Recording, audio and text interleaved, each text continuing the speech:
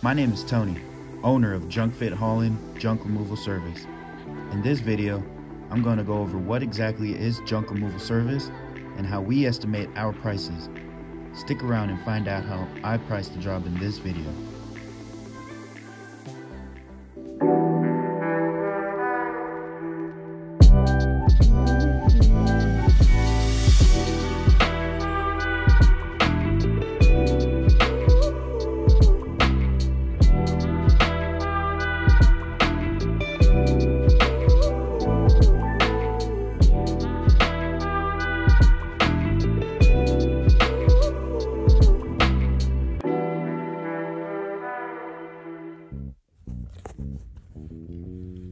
I know what you're probably asking yourself. How much did I charge for this job? I'll answer that at the end of this video. The more important question is, what goes into an estimate? Let me tell you, most people have no clue. I get calls all the time asking if I do free trash pickups. Even if I had the Cybertruck that doesn't require gas, it wouldn't be possible. Any business owner knows that we need to cover the cost of our overhead in the price of our product that we sell or the service that we provide. So, what is overhead? Great question.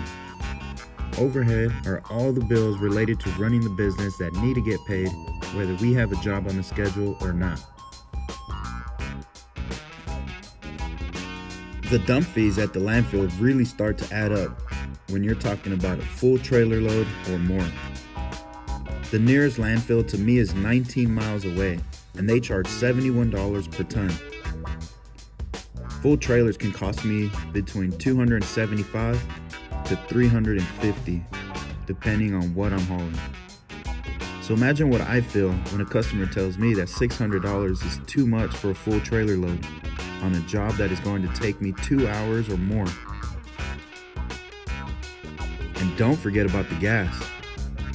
Or in my case, the diesel. I spend roughly 400 on fuel per week. There are some junk haulers out there who will do the job dirt cheap, but at what cost? It doesn't add up when they're charging prices lower than what it costs to dump it at the landfill. How are they doing it? The only way is if those are the guys that are dumping piles of trash on the side of the freeway, on the on ramps, empty lots, behind the business buildings, and random sidewalks. Are those the type of characters you want to invite to your home? So, how much did I charge for this job? The homeowner was renovating this home by himself, and he was very well aware of how much it sucks to take all this trash to the landfill. This job took me three hours. For the labor of moving all this trash into my trailer and hauling it away to the landfill, I charged this customer $800. The dump fees at the landfill were $260. My hourly overhead cost is $45 or $135 for those three hours that we worked. I paid my helper $100 for the day and I put $65 of diesel in the tank at the end of the day. That leaves me with $240. Not bad for a hauling junk, right? I don't know about you, but in California, that isn't much.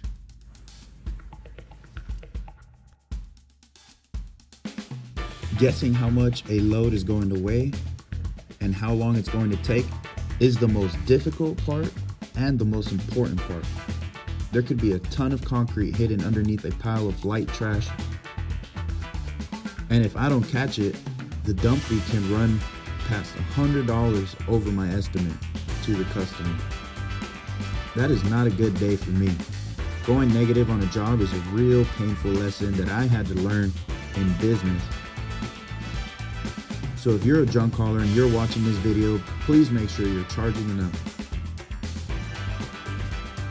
It can be difficult sometimes getting customers to understand that I just can't go below a certain price. I would be working for free. I just had to understand that not everyone is my customer.